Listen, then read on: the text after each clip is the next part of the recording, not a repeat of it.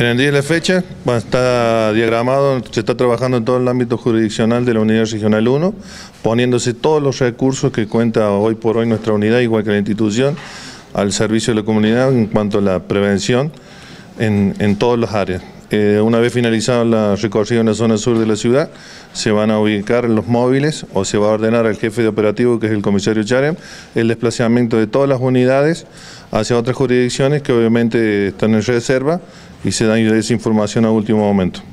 ¿Cuáles son las divisiones que están en este operativo?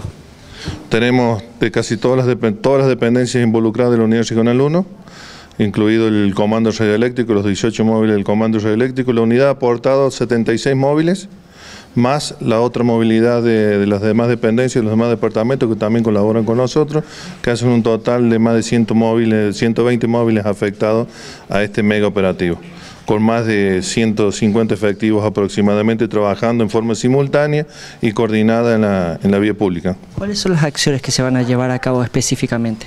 Las directivas emanadas es la identificación vehicular, identificación de motovehículos, identificación de personas, a los fines de prevenir cualquier accionar ilícito, específicamente de los motochorros que eligen este horario, ¿cierto? O esta franja horaria para cometer sus ilícitos.